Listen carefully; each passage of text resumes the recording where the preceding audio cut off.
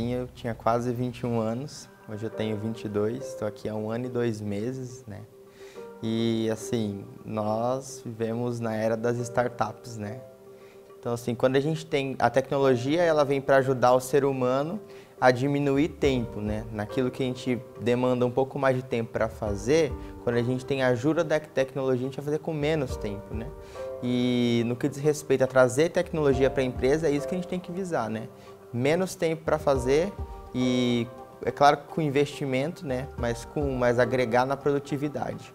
Então, por mais que o jovem hoje ele seja mais autodidata, ele tenha acesso a mais informação, ele saiba fazer mais coisas em menos tempo devido à tecnologia, ele está perdendo essa questão de se relacionar, né? Como se portar, como se relacionar, como falar com o mais velho, né?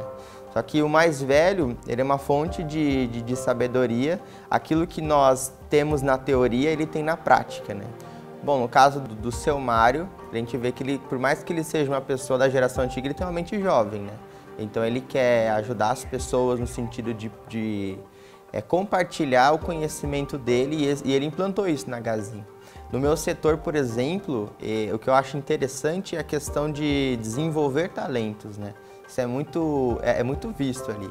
Então, os mais antigos, aqueles que já estão com os cargos mais consolidados, eles nos ajudam, os mais novos, a como consolidar. Né? Ela é uma excelente empresa para trabalhar, aquela empresa que a gente pode convergir o meu propósito com o propósito da empresa, que nos dá liberdade. Né? Porque quando a gente tem liberdade para ser quem nós somos, quando nós temos liberdade para buscar aquilo que nós queremos, aí o que, que isso vai agregar? Vai agregar produtividade. Porque a gente não vai ficar ocioso, não vai ficar ansioso, não vai ficar chateado porque a empresa está nos bloqueando, a gente não vai querer buscar novos áreas, porque a empresa nos dá oportunidade de, de, de, pensar grande, de pensar alto, de pensar no nosso propósito. Mas na verdade a gente pode pensar intraempreendedorismo, né? intraempreender. A gente pode intraempreender nos processos que nós aplicamos no nosso dia a dia de trabalho. A gente pode intraempreender na nossa relação com as pessoas dentro do, do ambiente de trabalho. E a empresa ela tem que nos dar liberdade para isso. Ela tem que dar liberdade para o colaborador intraempreender. Como? Ela vai estimular o empreendedorismo. Por quê?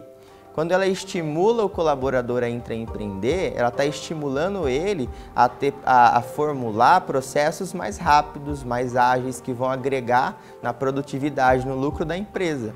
Então, quando o, o funcionário se sente motivado a fazer isso sem represária, bom, eu, então eu vou ter tempo para empreender, eu vou ter tempo, eu vou ser, eu vou ser, como é que é a palavra?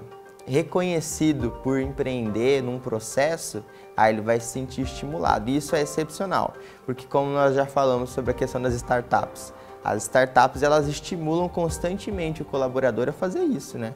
A tirar o que tem de melhor dentro dele, as melhores ideias e aplicar isso no processo da empresa. Então isso aí é que nos motiva.